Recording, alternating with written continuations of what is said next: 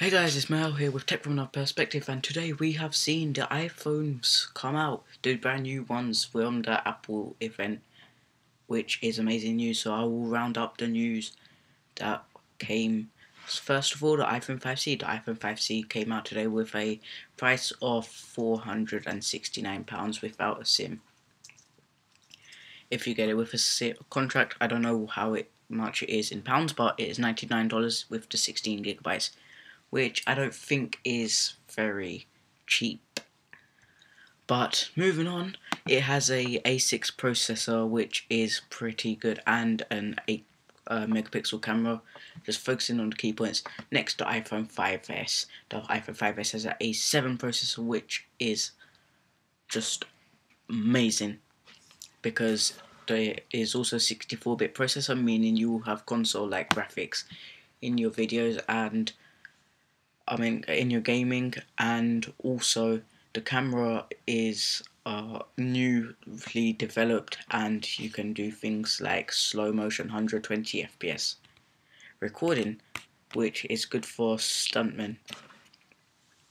Uh, the iPhone 5C is plastic and it comes in different colors green, white, blue, that's bit hot uh, mix between red and orange, and lastly yellow with the iPhone 5s being gold, uh, grey and uh,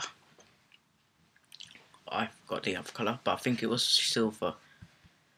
The uh, iPhone is probably going to be better than the iPad is at the moment but the 5C is although it's better than the 4S and iPhone 4, it's still more expensive.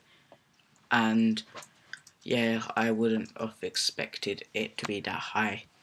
Uh, disappointing because you didn't see any new MacBooks or iMacs or Apple TV and whatnot, but that should come next month.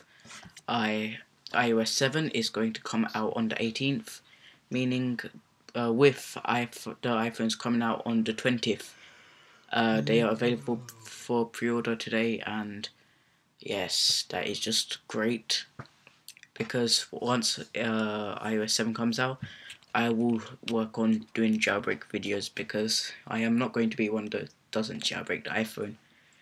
So yes, that is just about it for the important features. Actually, there's one more thing that I'd like to say. The iPhone 5S does have a thumbprint scan on the home button they got rid of the square to add in a thumbprint scan meaning you can unlock your phone with it and purchase things with it which is pretty good. I will link you uh, stuff when it's available. From now I'm doing it from memory because no one has posted a roundup yet. But yeah thanks for watching guys. I hope you have a, a good day. Make sure to rate the video leave a comment below and subscribe and uh, been uh, Mahel here with Tech from Another Perspective, and I am out. Peace.